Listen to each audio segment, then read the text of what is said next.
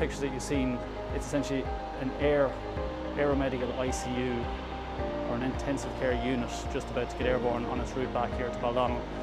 Um, the team that would have been involved is that we would have had a, the critical care retrieval team would have been a critical care doctor who possibly would have been operating on this seat, critical care paramedic, and then our own Air Corps crewman who's also medically trained as an emergency medical technician.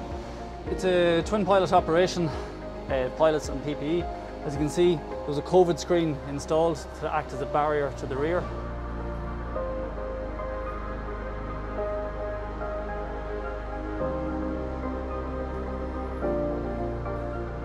While this is a relatively spacious cabin as helicopters go, at altitudes it becomes noisy, somewhat vibey, or vibrations. It can be difficult for the crew to communicate and it is a relatively tight space when everybody's operating in this environment, including the patient with all um, medical equipment on board. So it is a significant challenge, but still in saying that, the same level of care is offered to the patient for the duration of the flight.